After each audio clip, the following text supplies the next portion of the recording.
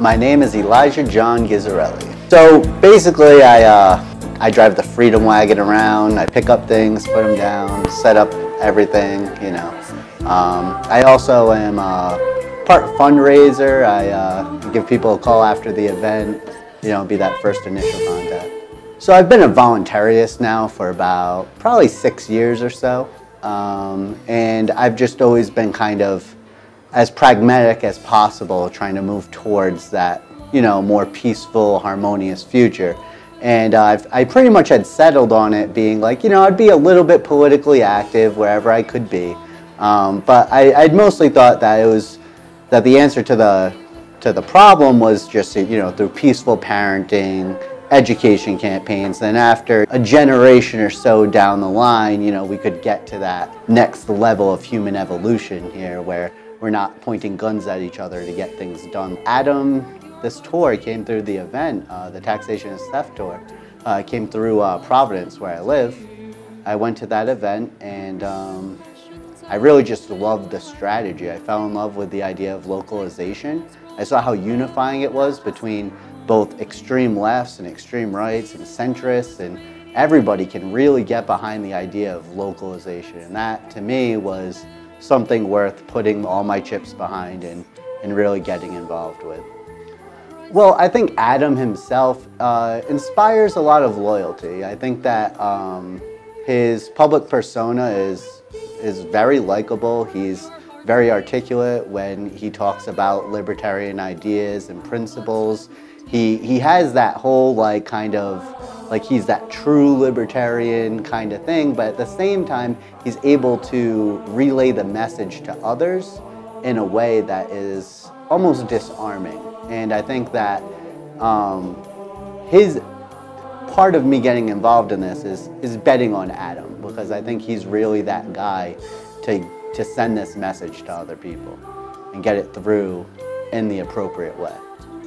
I guess the general message of this, the campaign is just that like, hey, the, the, the federal government is where democracy goes to die, okay? So if you have so such a more intimate relationship with your state uh, legislature, your governor, your mayor. Whereas if you can bring down the ultimate decision making of government closer to a, a, level that you can reach out and touch, whether it's just a phone call away or you can walk down to City Hall.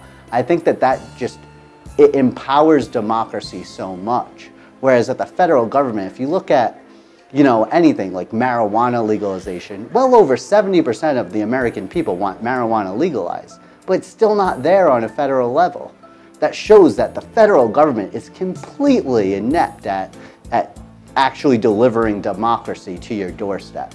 So this idea of localization is, is paramount. San Francisco should not be telling Texas what their laws need to be, and Texas shouldn't be telling New York. And I think that when you get extreme left people, they want more control over their communities. And extreme right people want more control over their communities. And centrists want more control over their communities. And, that, and you only get that through localization. And that's why this message is so powerful and just so relevant to everybody you don't need to control others to live your life. And that's, that's the, the state's real um, kind of like tagline. And so nobody wants laws for themselves. They always want laws to, to control other people. You know, they're, they're so scared of their fellow man, right? And if, if you just like take in a deep breath and you look at the person across from you or walking down the street, they mean you no harm. And so when you can just kind of internalize that, that you're, you're okay, you don't have to fear the person across from you. That, it's going to stop you from running to the state and their, the state's guns.